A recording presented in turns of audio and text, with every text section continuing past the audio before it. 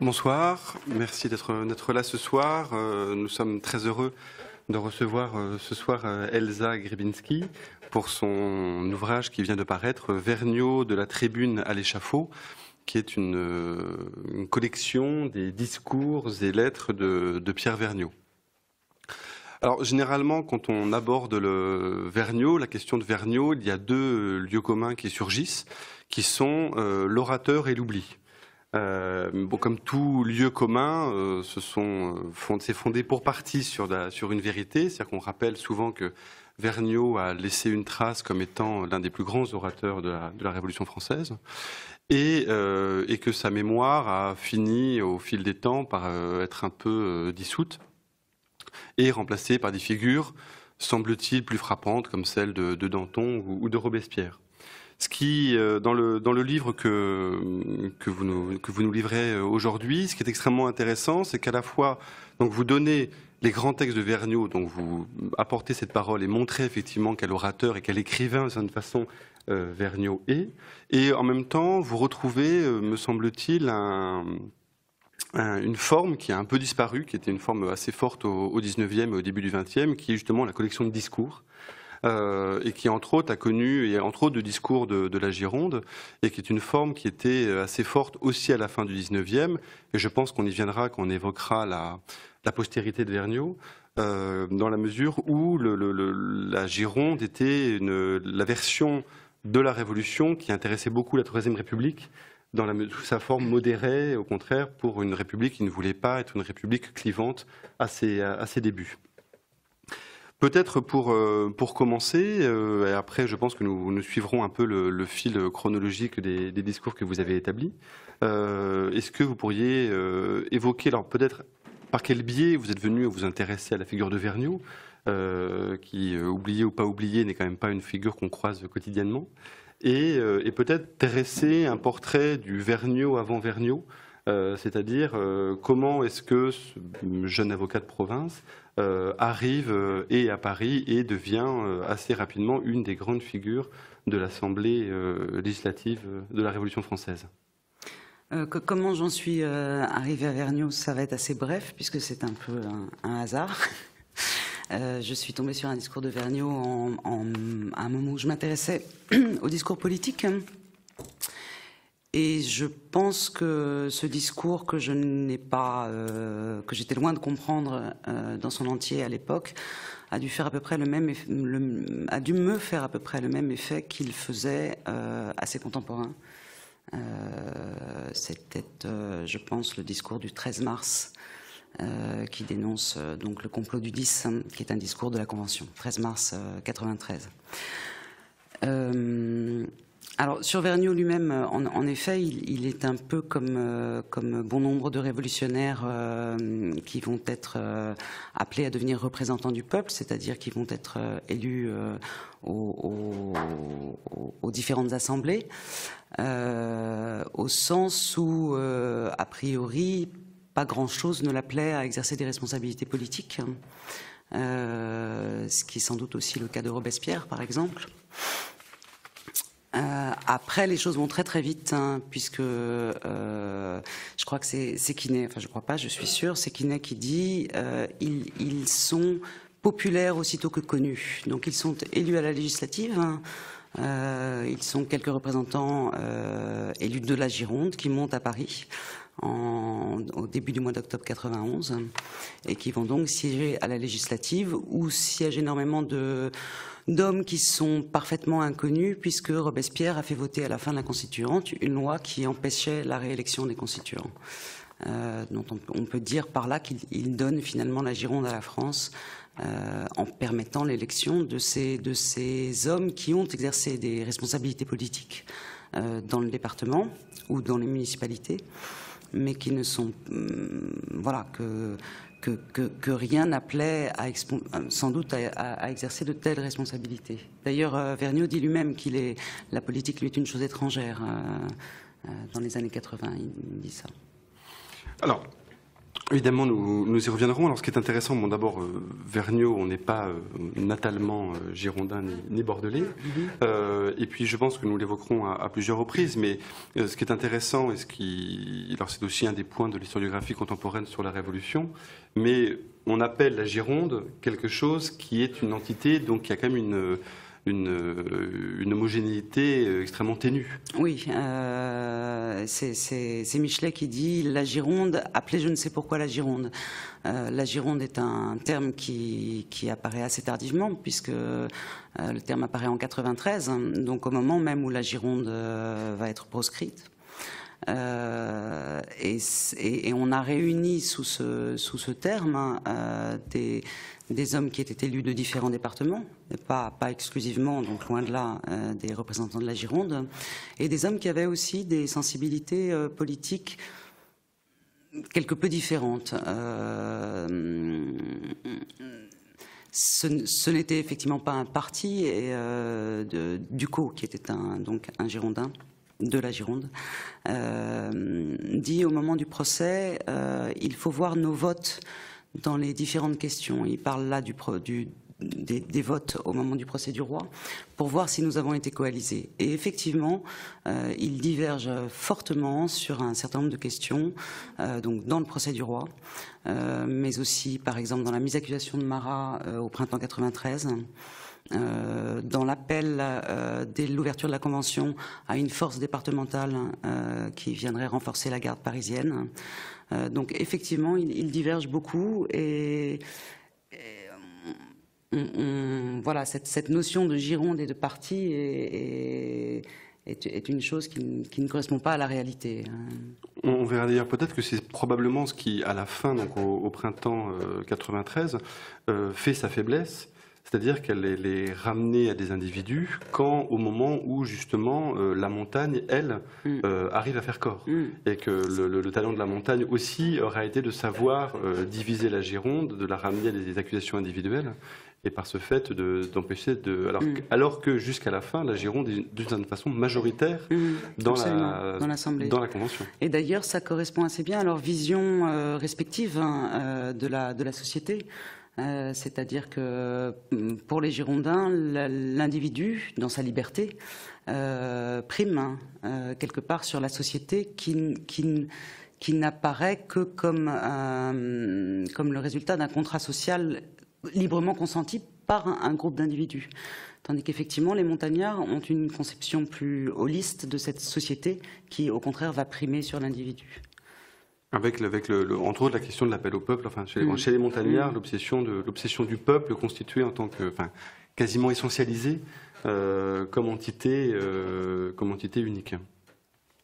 Alors pour euh, pour prendre le Vergniaud dans sa dans sa chronologie, euh, donc il, a, il apparaît euh, sur la scène et dans votre livre au sein d'un épisode qui est forcément un peu méconnu, qui est donc une plaidoirie. Donc vous avez euh, la, enfin c'est d'ailleurs la seule plaidoirie qui, qui, soit présente dans le dans le livre. Je ne sais pas si c'est la seule plaidoirie qui nous reste. Non, il reste il reste d'autres plaidoiries que j'ai trouvé moins, dont j'ai trouvé qu'elles annonçaient moins ce, ce qu'il va devenir en tant qu'orateur dans, dans, dans l'Assemblée législative.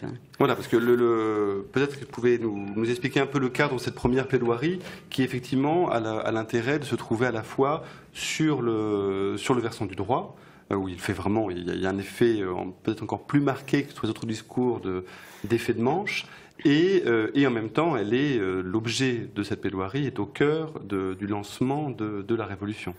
Euh, c'est un peu, c'est peut-être un peu long de revenir parce que l'histoire est effectivement euh, assez complexe, hein.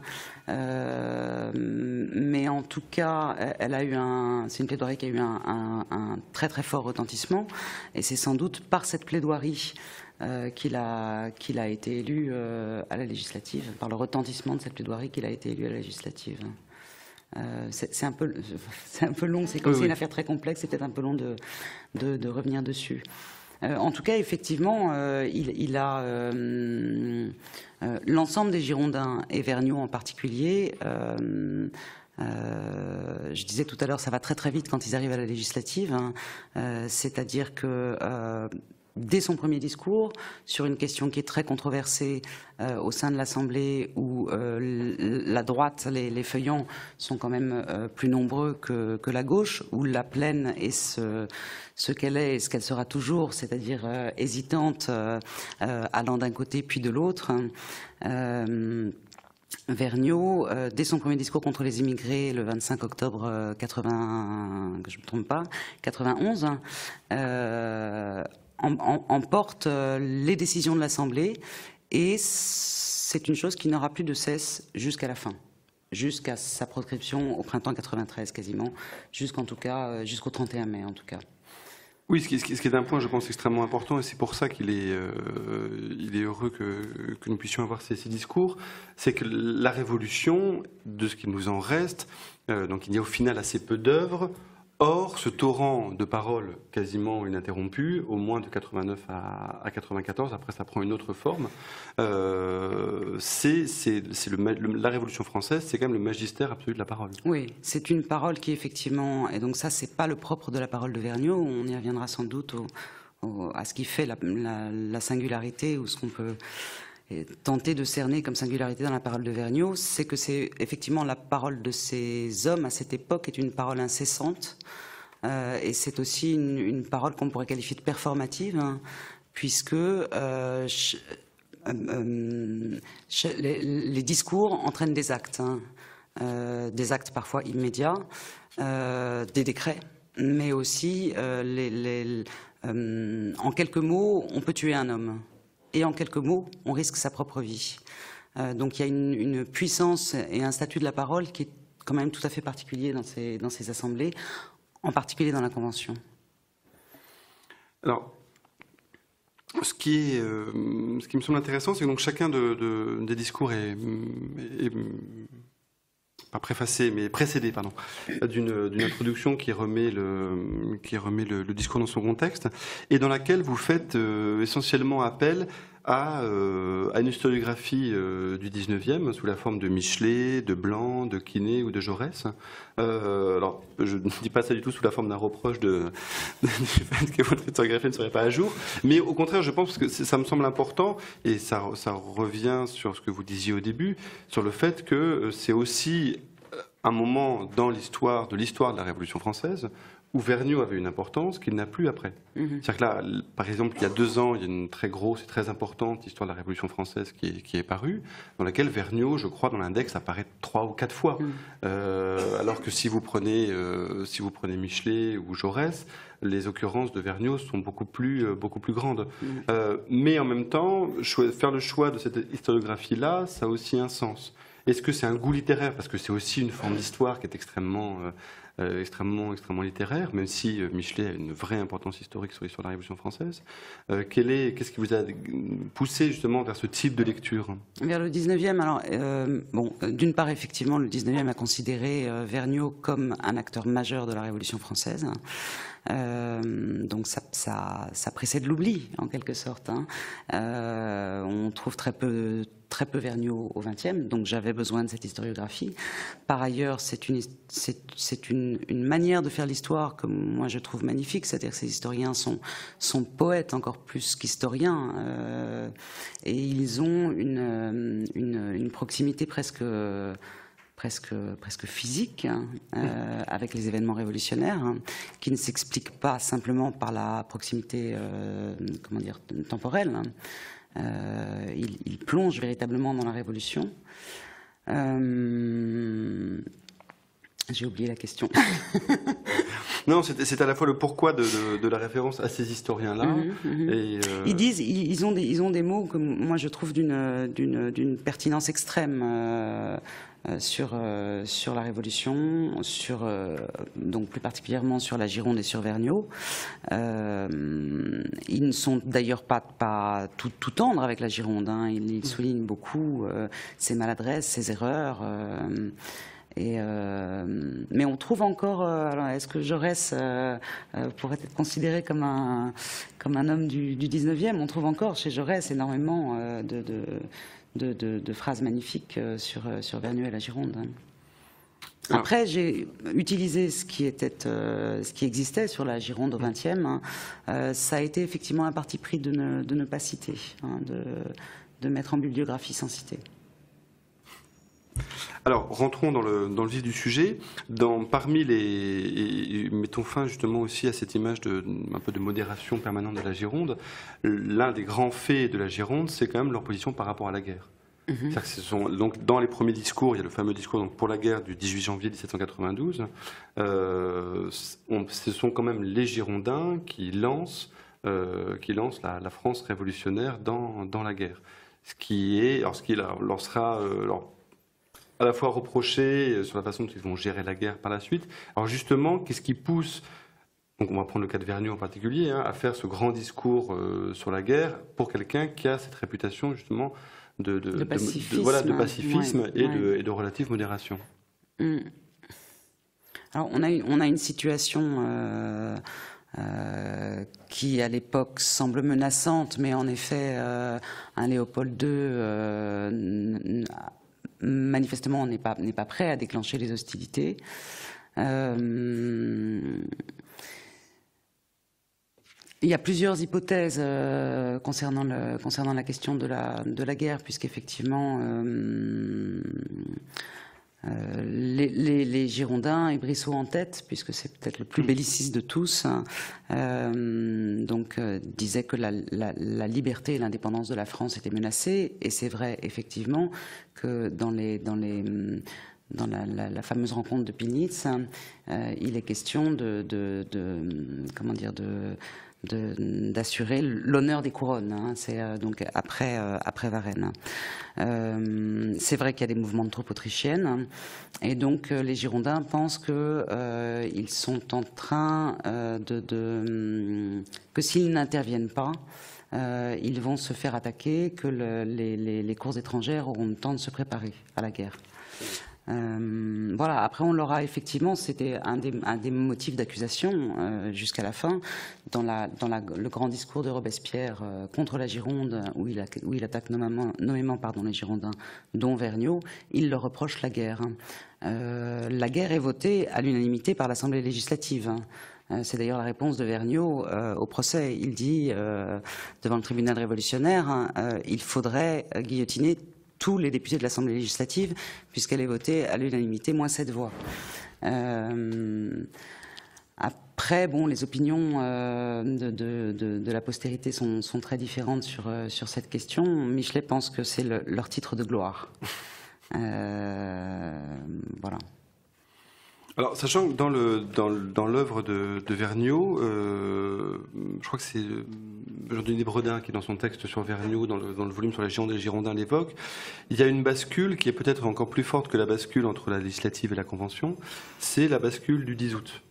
C'est-à-dire, c'est le, vous le, rappellerez, mais c'est ce moment où euh, donc la, commune, la commune parisienne va aux Tuileries euh, et au final euh, c'est Vergniaud qui là euh, c'est vraiment son, moment de pinacle mais dont on peut considérer qu'il est peut-être aussi le début de la fin puisque c'est lui qui va faire le texte sur la déchéance du roi alors est-ce que vous pouvez évoquer donc ce moment du ce moment du 10 août et voir qu'est-ce que ça produit justement dans, l'écriture et dans le style de Vergniaud cette, cette bascule là l'idée c'est que je pense que le, moment, du, le moment du 10 août euh, et le moment où, euh, où finalement le, on, sort de la seule assemblée législative, mhm. puisque la commune prend son importance, mhm, mhm. et donc c'est le moment où le pouvoir de Vergniaud et le pouvoir de la parole et le pouvoir de l'assemblée va finir par diminuer.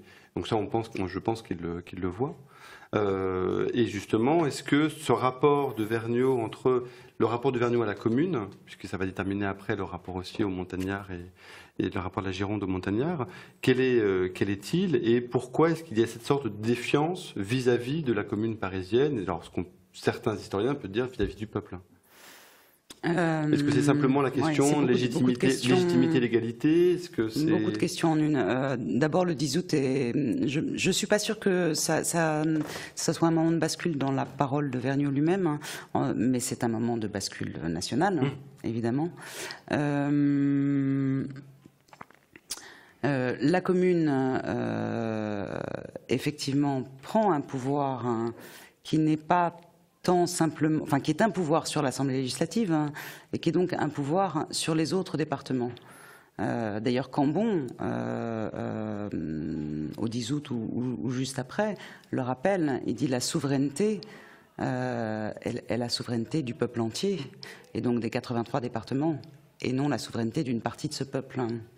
Et il fait même d'ailleurs un, décret pour, comment dire, informer le, peuple de la manière dont s'exerce la souveraineté et de la manière dont elle s'usurpe. Euh, donc il y a effectivement une, euh, non seulement une, euh, une, importance plus grande de cette commune, qui est une commune insurrectionnelle, hein, qui n'est pas la, la commune élue, mais une, une, un autoritarisme aussi hein, qui, qui, est raccroissant et qui, qui, sera le même face à la Convention et qui se poursuivra après l'élimination des Girondins. Sachant que paradoxalement, c'est cette commune-là qui va faire le reproche de fédéralisme alors qu'elle est euh, elle-même, euh, elle sépare elle-même quasiment, elle se sépare elle-même quasiment de, la nation. Elle, n'aura de cesse de reprocher à tous ceux mm. qui ne la suivent pas. Euh, et ça sera la grande accusation finale mm. contre les Girondins, mm. cette accusation du fédéralisme. Et c'est presque d'ailleurs cette espèce de sécession de la, de la, de la commune hein, qui, enfin, ça finit par entraîner aussi la rébellion fédéraliste. Hein. Euh, puisque euh, les Girondins des départements, euh, les, pardon, les députés des départements, donc des différents départements et pas seulement Girondins, une, fois qu'ils sont proscrits, les départements s'insurgent contre cette disparition de leur représentation, même si on a une unité de la représentation nationale, ce sont quand même leurs représentants. On n'a pas tellement.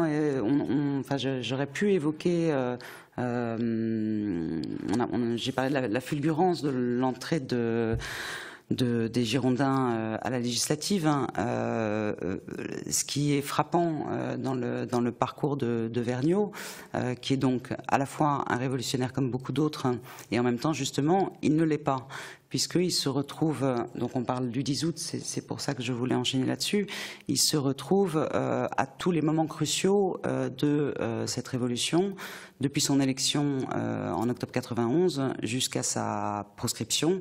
Au printemps 93 et même après puisqu'il fait partie des premiers conventionnels à être guillotinés et, ce, qui, correspond donc au début de la terreur même si on on pensait que la terreur commence avec les massacres de septembre 92. Donc effectivement, c'est lui qui euh, prononce le premier le, terme de déchéance euh, au sein de l'Assemblée législative, hein, le 3 juillet, donc peu avant le 10 août. Euh, c'est lui qui, le 10 août, prononce le décret qui suspend le roi, et également le décret qui appelle l'ensemble de la nation à élire une convention, donc une nouvelle assemblée au suffrage universel masculin pour la première fois. Euh, et puis c'est lui qui est à nouveau président au moment du procès du roi. Et donc c'est lui qui prononce la, sentence de mort du roi. Euh, c'est quand même assez exceptionnel. Alors justement, parce que vous, l'évoquiez, euh, on peut peut-être citer deux, moments. Le premier, dans le, justement, dans le discours du 3 juillet 1792, euh, donc le discours sur la, déchéance euh, du roi pour, commencer, et puis après on évoquera un autre point au moment, au des massacres de septembre. Donc dans le discours du 3 juillet 1792, Ô roi, qui sans doute avait cru avec le tyran Lysandre que la vérité ne valait pas mieux que le mensonge, et qu'il fallait amuser les hommes par des serments, ainsi qu'on amuse les enfants avec des osselets, vous n'êtes plus rien pour cette constitution, applaudissements des tribunes, pour cette constitution que vous, avez si indignement violée, pour ce peuple que vous avez si lâchement trahi. Et comme, nous l'évoquions euh, avant, et c'est d'ailleurs le titre global du, chapitre, le moment juste avant la Convention, c'est le moment où s'ouvre cette ère de soupçon. Ça, ça c'est quand même aussi l'autre grande bascule. Quand, quand, on lit les discours, on voit bien la différence entre, dans un premier temps, me semble-t-il, des discours qui sont souvent, on va dire, tournés vers l'extérieur de, l'Assemblée, qui est la construction des lois ou des différents choix qu'on peut faire dans la construction du, pays. Et plus on avance dans la deuxième partie, plus les discours de, de sont dans un premier temps des discours d'attaque, puis d'autodéfense, puis de réplique, etc. Mais en fait, c'est l'entredéchirement permanent et, et toute l'énergie, l'énergie oratoire et même l'énergie physique, parce que vous l'évoquerez, mais ce qui est assez frappant, c'est le, et ça, ça arrivera à Robespierre six mois après Vergniaud, mais c'est l'état d'épuisement physique absolu dans lequel se mettent ces jeunes gens, qui ont entre, on dit entre 30 et 50 ans, euh, donc grands jeunes gens, et dans lequel ils se trouvent et qui, comptent quand même dans l'état où ils votent les, choses. Et pour, pour, indiquer, pour ouvrir ces terres du soupçon, euh, citer un texte donc, de Vergniaud du, du 4 septembre, où il dit Je sais que l'homme public qui s'est dévoué à la liberté est nécessairement exposé aux traits de la calomnie. Mais quand cette calomnie est l'ouvrage de ces hommes pervers qui semblent s'attacher à diviser les citoyens et à désorganiser toutes les parties du gouvernement, l'homme public serait coupable s'il sacrifiait le bien général à sa vanité personnelle. À plus forte raison, est-ce un devoir pour lui, quand la calomnie s'étend et que la défiance devient générale, de renoncer à ses fonctions et de rentrer dans la foule? Et ça, c'est un trait qui, en fait, ce, ce texte-là, on va quasiment le retrouver quelques, quelques mois plus tard, euh, alors je, n'ai oublié sa source quand il, dit périsse la mémoire de, l'Assemblée mm-hmm. euh, si notre travail euh, rentrer dans la foule et dans l'anonymat et effectivement c'est une expression qui va mm, peu à peu s'acheminer vers une autre qui, est celle du sacrifice en fait. C'est-à-dire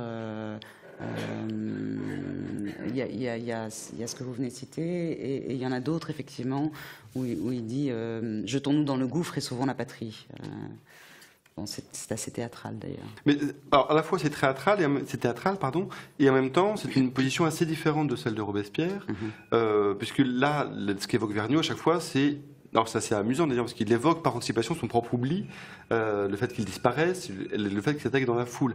Alors que quand euh, Robespierre évoque son immolation, c'est toujours il, il, se transforme en peuple. C'est-à-dire qu'il est le peuple mm. avec des majuscules euh, où on peut en mettre partout, mm. mais euh, alors que chez Vergniaud, euh, c'est au contraire, c'est une sorte d'horizon de, disparition. Mm-hmm. Ce sont deux, deux visées complètement, complètement différentes. Oui, c'est vrai. Alors justement sur le, vous l'évoquiez en disant Vergniaud est là toujours au moment, au moment important. ce qui me semble important, c'est justement le grand discours de l'appel au peuple. Euh, puisque là aussi, c'est le début, c'est le moment, c'est l'un des premiers retournements où la parole de Vergniaud n'opère plus. Euh, donc l'enjeu, pour le, rappeler brièvement, c'est de savoir si pour appliquer la sanction ou non qui va être faite au, au, roi, euh, enfin à Capet, est-ce que c'est l'Assemblée qui décide ou est-ce qu'il faut faire un appel au peuple? Est-ce qu'il faut ratifier la sanction, en tout cas qui sera, euh, qui, sera décrétée par, le, par l'Assemblée? Et l'enjeu, enfin, est-ce que vous pouvez évoquer un petit peu l'enjeu? Parce qu'il est extrêmement important. C'est, comme le premier grand moment de cristallisation entre la montagne et, la Gironde. Euh, qui est un moment de. enfin, le, déchirement que, vous évoquiez tout à l'heure, qui, apparaît dès, les premiers jours, de l'ouverture de la Convention, euh, on a aussi le sentiment qu'il est dû au fait que précisément il n'y a, a, plus d'ennemis communs. Euh, quelque part, hein, d'ailleurs, quelque part, Louis Capet est déjà mort. Euh, c'est-à-dire qu'il est là, mais il n'est plus là, en fait. Hein. Euh, et du coup, le procès du roi, qui, qui, qui, qui, est le procès du roi, le, véritable enjeu n'est plus le procès du roi. Le véritable enjeu, c'est la Gironde et la montagne. et c'est ce, fameux appel au peuple sur lequel il, il s'oppose. pour la Gironde, en tout cas dans, dans ce qu'elle en dit, euh, ne, pas faire ratifier la, sanction, quelle qu'elle soit, et en particulier si c'est évidemment la peine de mort, c'est euh, risquer de déclencher la guerre civile d'une part, et d'autre part, euh, risquer de, renforcer la, coalition extérieure et de généraliser la guerre contre la France. les montagnards craignent sans doute que le peuple ne ratifie pas la, peine de mort. Et, en fait, ils euh, accusent les Girondins de, de vouloir sauver le roi. Voilà, exactement. D'anticiper, hein, de dire c'est une manœuvre. Vous savez que le peuple ne votera pas la mort du roi, donc en fait, vous vous passez au mm. peuple mm. votre propre lâcheté. Mm. Et Vergniaud, dans ce, dans ce discours absolument magnifique, où, il est beaucoup question de qu'est-ce que c'est que la démocratie et qu'est-ce que c'est que le pouvoir des représentants, où est-ce qu'il s'arrête hein, euh, Vergniaud s'interrompt à un moment et désigne manifestement, même si évidemment on n'a pas son image, la montagne et dit « je vous entends, vous voulez régner euh, voilà, il y a, ce, moment-là, il y a deux moments très forts dans, ce discours-là. Vous, voulez régner aussi parce que euh, de, tout d'un coup, on n'est plus en démocratie. Euh, c'est-à-dire que c'est le, début de la tyrannie pour, euh, pour Vergniaud dans son discours. C'est le début de la tyrannie, et comme vous le disiez, il, se rend compte quand même que la mort du roi, qu'au final lui souhaite, enfin il, vote, il la vote, il, la vote. même s'il est déjà mort, même si le roi est déjà mort symboliquement, ça pose un problème puisqu'il n'y a, a quand même plus de tête. Et mmh, même si mmh. évidemment c'est jamais dit donc, comme ça. Donc il faut, il faut un chef. Hein. Voilà. Mmh. C'est une idée qui rôde quand même autour de ce discours-là. Par ailleurs, la question de l'appel au peuple est très intéressante puisque les Girondins ne sont pas, euh, franchement, euh, euh, essentiellement démocrates, on va dire, hein, relativement en tout cas à un Robespierre qui est un démocrate de la première heure. Et on voit tout d'un coup euh, Robespierre euh, euh, refuser cet appel au peuple hein, que, les Girondins vont au contraire prôner. Alors pour citer deux, passages dans ce, dans ce grand discours, on nous accuse, si ce n'est de vouloir allumer la guerre civile dans les départements, au moins de provoquer les troubles à Paris, en soutenant une opinion qui déplaît aux vrais amis de la liberté. Mais pourquoi une opinion exciterait-elle des troubles? Parce que ces vrais amis de la liberté menacent de la mort des citoyens qui ont le malheur de ne pas raisonner comme eux. Donc ça, c'est l'annonce effectivement de la, terreur euh, idéologique, si l'on veut. Serait-ce ainsi qu'on voudrait nous prouver que la Convention nationale est libre? Il y aura des troubles dans Paris et c'est vous qui les annoncez. J'admire la sagacité d'une pareille prophétie. Oui, il sait, il sait être très ironique euh, à certains moments, hein, pas, tout le temps, mais quand il, quand il, est, hum, quand, il est indigné, en fait, hein, il, emploie beaucoup l'ironie dans ce cas-là. Et, le, et, le, discours, se, j'essaie de retrouver, excusez-moi. Et le, discours se finit. Bon, quand même, c'est là aussi, on sent venir le, sans être trop non plus. Euh, à tout voir depuis le, point de vue de la fin. Euh, si l'on veut, si le peuple veut la mort de Louis, il leur donnera. Et le discours s'achève, je n'ai plus rien à dire. Hmm. Donc c'est un très long discours et effectivement après ce discours, euh, donc Vergniaud, comme l'ensemble des députés successivement, prononce à la tribune son opinion sur la sur la peine à infliger à Louis. Euh, après quoi, en tant que président, il prononce la peine de mort. Et après, il se tait pendant euh, pratiquement bah, jusqu'au 10 mars, je pense. C'est-à-dire qu'ensuite, pendant euh, deux, trois mois, il est absent de la tribune. Et c'est déjà, voilà, il s'est déjà absenté lui aussi. Euh, on a l'impression que la, mort du roi, effectivement, mmh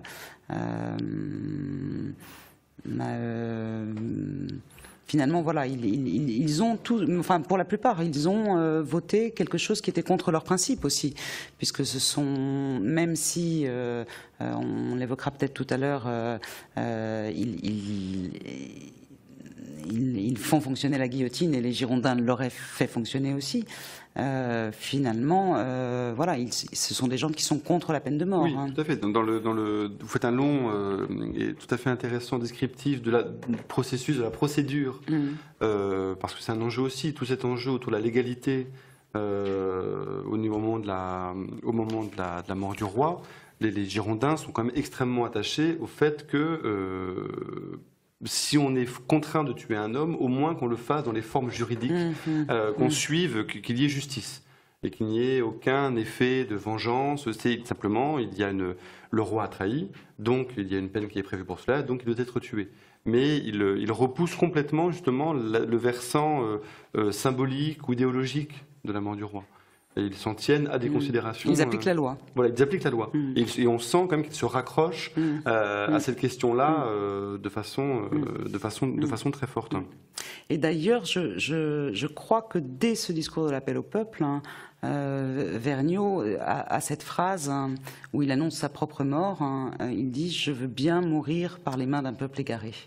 ce, qui, ce, qui se, ce qui se produit en quelque sorte euh, quelques mois plus tard, même si c'est la, Convention et le tribunal révolutionnaire qui sont euh, les institutions officielles qui, qui vont euh, donc mettre à mort ces premiers conventionnels. Donc, justement pour en finir avec la partie sur le, procès du roi, donc cette fois-ci je vous cite, non pas Vergniaud, comme le redoutaient les Girondins, le procès que Robespierre n'avait pas souhaité fut son premier triomphe. Le soupçon qui tomba sur la Gironde releva la montagne. La mort de Louis rendit-elle également la force à la religion monarchique ainsi que le craignait Brissot, ainsi que la fermée Michelet, d'accord en tout cela, une fois n'est pas coutume, avec Louis Blanc, on peut, le dire. Alors, je voudrais vous interroger sur cette phrase par laquelle vous concluez le paragraphe, qui est « Elle fut en tout cas le début de la fin pour la Gironde, de là pour la Révolution elle-même ». Mhm. Euh, est-ce que de, cette grande proximité avec Vergniaud que vous avez acquise en... C'est une idée romantique. Hein. voilà. c'est quand même une, assimilation euh, complète de, la Gironde de la Révolution, ce qui est une, ce qui est une tradition historiographique hein, par mhm. ailleurs. Euh, alors, sur l'assimilation de la Gironde à la Révolution, je dirais non, au sens où effectivement, au départ, il y a un parti patriote. Hein, qui réunit euh, Girondins et Montagnards. Hein. Euh, euh, après, effectivement, dès lors qu'on commence à toucher à la Convention, aux représentants du peuple, hein, et c'est ce que dit Vergniaud beaucoup dans ses discours, hein, c'est la fin. Kiné, euh, je crois que c'est Kiné qui a cette phrase, il dit euh, en, gros qu'à partir de là, plus aucun moment ne fut tenu pour innocent dans le passé. Euh, c'est-à-dire qu'ils vont se soupçonner les uns les autres. Donc oui, si c'est une partie de, si, la révolution est amputée d'une partie de son histoire, hein, si la convention est amputée d'une partie de ses membres, hein, c'est le début de la fin. Mais je, c'était pas, pas un proche. Alors, est-ce que euh, ce qui est intéressant, donc à partir du moment où se met en place la, convention, euh, d'abord il y a une sorte de retournement qui était, alors la Gironde était vraiment le, cœur vivant de la législative. Et la Convention va déplacer le centre de gravité d'une façon. Alors il y a tout un jeu, mais même physique, d'occupation de l'espace dans l'Assemblée nationale, puisqu'au début personne ne veut siéger à droite de l'Assemblée, tout le monde se colle complètement à, complètement à gauche. Euh, tout le, grand œuvre de la montagne sera de dire nous sommes, nous sommes le peuple, nous sommes, nous sommes la, la, garantie que la révolution perdure et la Gironde ne vise qu'à une chose, c'est perdre la, perdre la révolution. En même temps, euh, il y, a quand même plusieurs points qui vont intervenir, on va dire, en défaveur de la Gironde. Il y a une sorte de maladresse dans la façon, et donc c'est là, je voudrais qu'on en vienne là, sur la façon dont la Gironde va euh, traiter un certain nombre de problèmes, dont la guerre, dont la question du Mauriès, dont ces éléments-là. Euh, et, surtout, le grand point d'achoppement, c'est quand même aussi la question économique. Mhm. Euh, et sur la question du rattachement, euh, justement, politique-économique, même si les, montagnards ont même fluctué. Mais est-ce qu'on, vous pourriez nous, dire un petit peu, est-ce que d'abord il y avait ce n'est pas une grande époque d'économistes, hein, mais est-ce qu'il y avait une sorte de doctrine, pas de la Gironde ou ne serait-ce que de Vergniaud, par rapport aux questions économiques, ou est-ce qu'il était pris dans le, on va dire, une sorte de libéralisme fin 18e de, de, son milieu. C'est un libéralisme fin 18e qui n'est pas de son milieu, enfin qui est partagé avec, euh, avec les montagnards et avec euh, l'ensemble des jacobins euh, pendant tout un temps. et effectivement, il pensait que le, le, la liberté du commerce hein, et le jeu libre des intérêts faisaient l'intérêt de tous. Hein. Euh, mais c'est une opinion qui est partagée par Robespierre et, toute la Convention ensemble vote au printemps euh, euh, la peine de mort hein, pour quiconque appellerait au partage des terres. Hein. et, Robespierre hein, et Marat s'insurgent quand les, les, pétitions des enragés réclament le partage des terres. Euh, donc, euh, donc ça, c'est une chose commune. Euh, après, effectivement, les montagnards sont plus attentifs et sensibles hein, à ce qui se passe dans la réalité autour d'eux. On pourrait dire qu'il y a quelque chose d'un peu abstrait chez les Girondins dans leur, dans leur, que leur perception de, la réalité est un peu abstraite. Hein. Euh, et, les montagnards ont un pragmatisme hein, euh, que, n'ont pas du tout les Girondins, qui sont d'une espèce d'intransigeance idéologique et idéaliste, hein, euh, presque naïve à certains moments. donc, donc effectivement, les, montagnards vont finir par accueillir certaines revendications pour les délaisser ensuite. Oui, afin de, faire taire aussi mm. les, les, enragés. Parce que les montagnards sont menacés eux-mêmes. Hein. C'est toute la convention qui est visée au printemps euh, par les, pétitions euh, euh, des sections parisiennes, qui ne représentent pas l'ensemble de l'opinion parisienne. Hein. qui sont des pétitions que, dont, dont Vergniaud dit qu'elles sont, elles sont de la manipulation, mais effectivement, c'est l'ensemble de la Convention qui est visée, même si la montagne est mise un peu de côté et que c'est un appel à la montagne à procéder elle-même à l'épuration de la Convention, mmh. ce qui sera fait finalement. Alors ça c'est le, le, grand, enfin c'est l'avant-dernier moment, on va dire, de, donc, mm. moment de mars de mars 93. Et effectivement, juste pour revenir à ce que vous disiez, dès lors que la République est proclamée, euh, en, donc en septembre 92, hein, pour pour quelqu'un comme Vergniaud. Euh, Vergniaud se, se, demande à quoi, quel est l'objet d'une nouvelle insurrection ou d'une mm. nouvelle révolution, si ce n'est abattre la République. Euh, tandis qu'effectivement, euh, les montagnards ne, voient pas la chose de cette manière-là. Oui, après, c'est aussi cette, grande idée, c'est que d'un côté, il y a une idée de révolution pas permanente, mais qui est vraiment dans un processus qui doit continuer, alors que les Girondins sont quand même plus dans l'idée qu'il s'agit de, préserver euh, ce qui a été acquis jusqu'ici et de, de, consolider la République par une constitution. Exactement. Alors que la constitution devient pour les, mm. pour les montagnards un enjeu, euh, mm. ça, là pour le coup c'est le mm. dernier moment, euh, un enjeu extrêmement fort jusqu'à mettre en place une constitution qui ne sera de fait jamais, jamais appliquée, jamais appliquée celle, de, celle de Et d'ailleurs pour revenir sur la question de, la démocratie, la la constitution dite girondine, hein, euh, qui, est euh, pour beaucoup due euh, à, Condorcet, est extrêmement démocratique. Hein. C'est-à-dire qu'on a non seulement une assemblée législative, un pouvoir législatif qui est élu au suffrage universel hein, masculin, mais l'exécutif, les ministres sont également élus pour deux ans seulement. et il y a un pouvoir financier qui est indépendant euh, de, du, reste de l'exécutif et qui est également élu au suffrage universel masculin. Donc c'est extrêmement mm. démocratique. Ils, y viennent à la démocratie. Euh, ils, ne le sont pas au départ, mais ils y viennent. Alors dans, un double mouvement, ils y viennent et en même temps le on va dire l'ambiance délétère de la convention euh, fait que de toute façon ce sont eux aussi qui mettent les premiers le, doigt dans l'engrenage. Alors non pas la suspicion parce que ça est relativement généralisé mais euh, du comité de défense entre autres donc dès janvier 93 euh, qui deviendra euh, plus tard le comité de salut public. Et, euh, et là, donc c'est pas spécifiquement Vergniaud, mais c'est, on va dire, une partie de la frange active de la, de la Gironde, qui mettent en, en œuvre ces processus-là de, hmm. de, suspicion devant mener à la mort. Hmm. Et l'idée quand même du, du, crime d'idée. Hmm.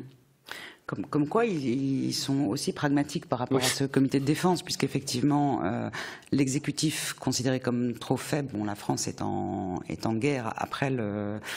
Après l'exécution de, Louis Capet, elle est en guerre contre l'Europe entière. Hein, euh, mmh. Donc on est vraiment dans des situations euh, tout à fait exceptionnelles et extraordinaires. Hein. Et effectivement, il crée un comité de défense hein, au sein de la Convention qui va donc euh, surveiller l'action des ministres. Hein. Euh, et ce comité de défense, euh, avant même la création officielle du comité de salut public, est appelé parmi les, parmi les conventionnels comité de salut public, le, salut public étant évidemment une des choses les, plus importantes aux yeux de, ces, de ces hommes. et dès la législative, les Girondins parlent d'échafaud. Euh, c'est Gadet, Élie Gadet, qui est un des, élus de la Gironde, qui dit euh, pendant la législative, euh, il faut assigner une place aux traîtres et que cette place soit l'échafaud.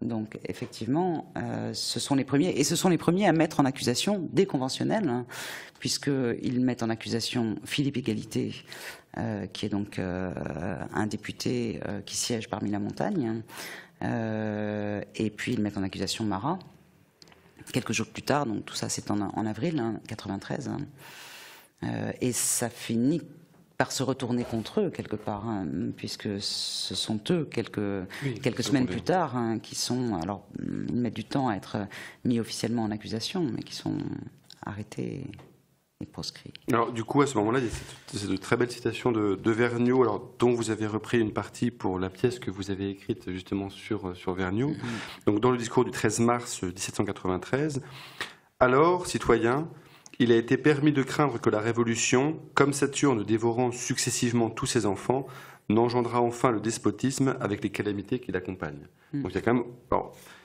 On ne peut pas vraiment dire que ce soit prophétique dans la mesure où c'est déjà, euh, au moment où il dit ça, le processus est déjà lancé. C'est-à-dire qu'en 89, ça aurait été prophétique, mais euh, il y a quelque chose où il, là, ça se joue à quelques semaines, quelques mois. Mm-hmm. C'est-à-dire que c'est aussi, c'est plus une une, annonce d'évidence presque que. Et c'est d'ailleurs euh, c'est une annonce d'évidence et c'est pour conjurer l'évidence puisque euh, il appelle à l'union. C'est un discours il appelle à l'union et ça, ça, le lui est reproché d'ailleurs. C'est un discours où il dénonce euh, l'une des premières conjurations. Euh, contre la Gironde, qui est une conjuration qui, qui échoue. Et, euh, et, effectivement, il appelle à l'union, et ses, et, ses, et ses collègues girondins le lui reprochent et lui reproche de n'avoir pas dénoncé mm. les, véritables auteurs ou bénéficiaires, en tout cas, de ce, de ce complot. Alors, ce qui, est assez, ce qui, d'une façon, fait une sorte de symétrique avec le, discours de, de Thermidor de Robespierre, euh, dans laquelle aussi c'est le caractère vague euh, Absolument, au, tout à fait, tout le caractère vague de la dénonciation de, Robespierre qui, qui finit parce que à ne pas donner de nom, tout le monde se sent suspect. Mmh. et c'est comme ça qu'on se fait. Voilà, c'est la, meilleure façon de, retourner contre soi l'ensemble de. C'est amusant d'ailleurs parce que cette phrase euh, est mise dans la bouche de Danton par Vajda, mmh. euh, donc dans son, dans son film euh, Danton. alors je ne pense pas que Vajda, enfin je ne suis pas sûr qu'il ait lu les discours de Vergniaud, je pense juste que Danton avait effectivement repris cette phrase et il l'a dit devant le tribunal révolutionnaire. Euh, bon, et on, c'est intéressant aussi par rapport à ce que vous venez de dire, puisque c'est un Danton qui se retrouve dans la position euh, des Girondins, euh, accusés d'être indulgents et non plus modérés, mais c'est pareil. Hein. Et, et, donc Danton, sans doute, comme, comme, faisait, comme faisaient tous ces orateurs, quand une image était frappante, elle était reprise hein, par les autres orateurs. Il, y a, un texte euh, que nous ne pouvons pas lire là parce qu'il est, euh, est un peu long, mais qui est extrêmement impressionnant. C'est le début de la réponse à Robespierre le 10 avril 1793, dans lequel en fait il y a pendant quasiment deux pages, euh, est retranscrit dans les, dans les archives parlementaires l'ensemble des interruptions. Et je trouve que c'est un texte qui, ce sont deux pages qui donnent très bien l'ambiance euh, même quasiment physique de la Convention, où à la fois la montagne euh, interrompt Vergniaud, euh, puis s'en prend au président, qui essaie de se défendre, Vergniaud qui dit au président, mais non, c'est moi qui parle, etc. En fait, ça dure, ça dure on deux pages. on, se, demande même si la, enfin, la montagne, sans, enfin, le, président se présente comme un accusé, qu'il n'est pas, alors que c'est la Gironde qui est accusée, et le président c'est Turiot, si je ne me trompe. Hein.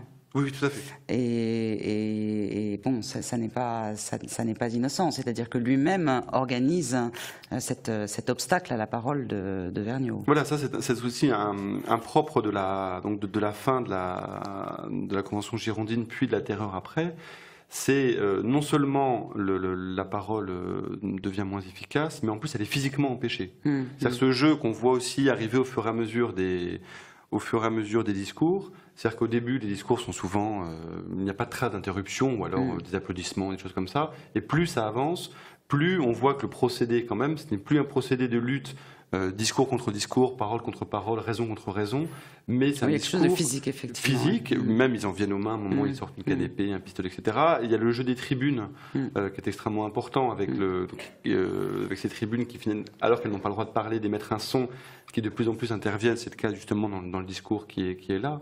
Donc il y a quand même ce jeu aussi où le, le, mm. la, c'est une terreur de, de, de, on joue à impressionner l'autre. Enfin, mm. c'est quand même mm. euh, ça. Alors ceci étant, ce qui, est, ce qui est intéressant aussi dans ce début de discours, c'est qu'effectivement, ça montre que la parole de Vergniaud était, était, était crainte. Hein. Euh, et d'ailleurs. Euh, D'ailleurs, le, procès est écourté, le procès des Girondins, puisque euh, y a un, phénix qui renaît de ses cendres, c'est l'expression qui est employée. Euh, on craint que, que Vergniaud euh, ne, fasse changer le cours du procès par sa parole, par ses discours, hein. et donc est voté à ce moment-là un décret qui autorise les jurés à se déclarer suffisamment instruits après trois jours de procès. Donc en gros, les accusés n'ont pas besoin de se défendre. Enfin, plutôt la défense leur est interdite, hein, euh, puisque on les fait taire. Hein. Et, c'est un décret qui a été voté, dont le brouillon est d'ailleurs de la main de Robespierre, hein, qui est demandé euh, par la commune. et par les Jacobins pour faire taire Vergniaud. Et donc c'est quelque chose qui apparaît déjà là. On ne mm. veut pas le laisser répondre à Robespierre. Euh, et après, on ne veut pas imprimer le discours. C'est Robespierre jeune qui dit, parce que euh, Vergniaud improvisait, ce qui était, ce qui était pas le cas de tous les orateurs. Mm. Robespierre jeune dit on ne peut pas. Donc l'impression des discours était votée pour être envoyée au département. C'est comme ça que les départements étaient au courant de ce qui se passait à la convention. Robespierre jeune dit on ne peut pas l'imprimer. Il n'était pas écrit. Oui, c'est une, perfidie absolue. Oui. Et ce qui contredit ce que vient de dire Marat, qui dit que c'est un discours préparé voilà. depuis 15 jours. Alors justement, extrait de ce discours-là, donc Vergniaud. Laissez-moi enfin parler. J'oserais répondre à M. Robespierre qui, par un, roman perfide, artificieusement écrit dans le silence du cabinet, et par de froides ironies, vient provoquer de nouvelles discordes dans le sein de la Convention. J'oserais lui répondre sans méditation, je n'ai pas comme lui besoin d'art, il suffit de mon âme. Euh, oui, parce que en, fait, c'est euh, effectivement, enfin, je n'ai pas besoin d'art. Alors là, effectivement, plus le, plus le temps passe, plus le danger est pressant, moins Vergniaud utilise l'art oratoire qu'il maîtrise parfaitement.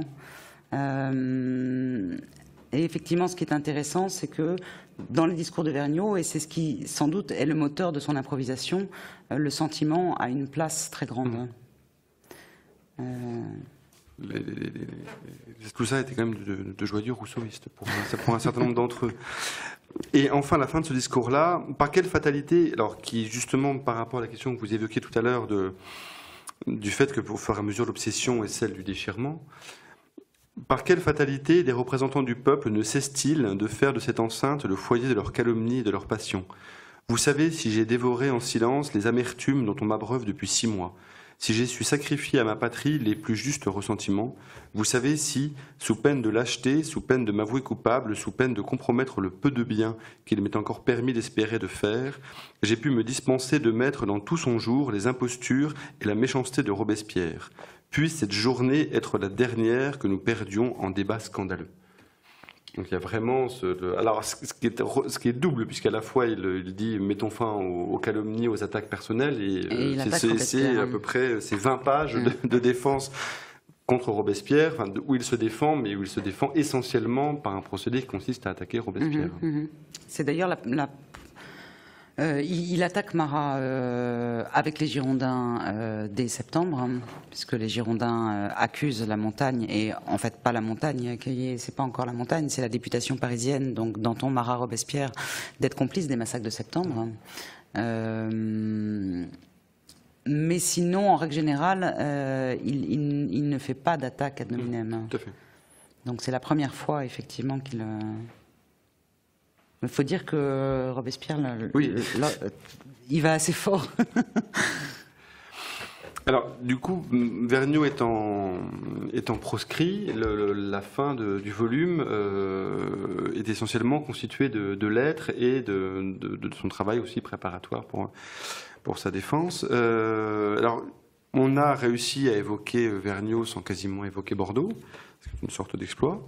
Et mais alors, ce qui est intéressant, c'est qu'à la fin, en fait, alors que effectivement, une fois qu'il est monté à Paris, il euh, euh, il ne revient quasiment plus à Bordeaux. je pense qu'il on, ne sait rien en fait de sa vie en dehors de la tribune, donc c'est très très difficile de tracer ce genre de choses. Euh, il évoque à un moment dans une de ses lettres, je crois, que je n'ai que je n'ai pas pas mise là, ou, pendant sa défense au, tribunal, il évoque un retour à Bordeaux mais c'est peut-être la seule fois, effectivement. Hmm. D'ailleurs, ils, n'avaient pas le temps, les uns les autres, de, revenir à Bordeaux. Ils étaient. Euh, euh, ils se consacraient entièrement euh, à leur travail, y compris au sein des comités des assemblées.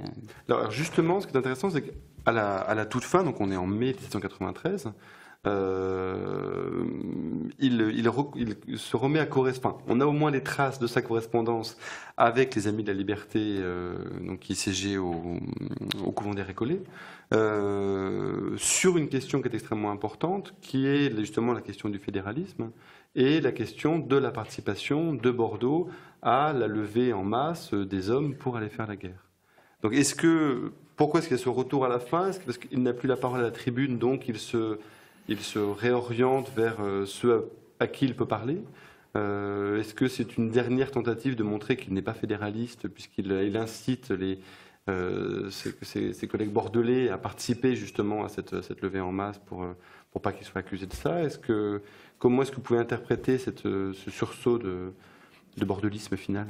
Euh, il les appelle surtout euh, à la défense euh, des représentants. Et il leur dit euh, Homme de la Gironde, levez-vous. Homme de la Gironde, levez-vous. Euh, j'ai évidemment pas la phrase en tête, hein, qui n'a rien d'une phrase fédéraliste. Il dit, juste euh, euh, vous, ramènerez à la paix ces, gens qui veulent faire la guerre civile. Hein. Hein, voilà, c'est ça. Vous forcerez, si vous développez une grande énergie, vous forcerez à la paix les hommes qui provoquent la guerre civile. il dit aussi la convention n'a été faible que parce qu'elle a été abandonnée. Soutenez-la, contre les furieux qui la menacent. Frappez de terreur nos Marius. Euh, donc effectivement, il, il, appelle, euh, il appelle au secours euh, Bordeaux et le département. Ça là-dessus, je ne sais pas si, on peut appeler ça du fédéralisme. Non, non, non, mais, effectivement, oui, Après, on, a peut-être un certain nombre de, lettres qui sont perdues à cette époque-là. il semblerait que sa sœur ait détruit une partie de la correspondance. Euh, et peut-être qu'il y a aussi peu de lettres, on n'en sait rien. Il dit justement à Robespierre, hein, euh, dans sa réponse à Robespierre, il dit à Robespierre, le secret de ma correspondance, je n'écris jamais de lettres. Alors pour, euh, pour conclure, puisque nous approchons de, la fin avant de passer la parole à la salle, donc on, va, finir par la, fin de votre livre avec cette phrase dont il n'est pas clair s'il est apocryphe ou pas sur la question de la mémoire. Mm. Euh, au moment d'accuser le, comité de salut public, Vergniaud avait assuré à tort Ma mort sera le dernier crime de nos modernes décemvirs. Et au tribunal, il avait dit On tuera mon corps, on ne tuera pas ma mémoire. Donc, grâce entre autres à. J'aurais dû mettre un conditionnel. Je pense que c'est. Il aurait dit. oui. il n'y a, pas de source directe de, cette phrase. Donc, écoutez, on... Non, mais en même temps, comme, euh, euh, enfin, comme un certain nombre de paroles qu'on aurait pu ou qu'on a pu lui attribuer, euh, il ça colle assez bien généralement. Euh, c'est un homme qui a tellement parlé et euh, qui, en tout cas au 19e, a tellement enthousiasmé par sa parole hein, euh, qu'on finit par, par, pouvoir inventer sa parole. Eh bien, donc, on a tué sa mémoire. Mais non, puisque vous êtes là, euh, justement, alors que nous sommes aujourd'hui précisément 300 ans, euh, jour pour jour, après l'ouverture du procès de la Gironde, mhm. qui était le 24 octobre 1793. Mais écoutez, merci beaucoup Pour, euh, pour toutes ces informations. Merci beaucoup. Bonne soirée à vous.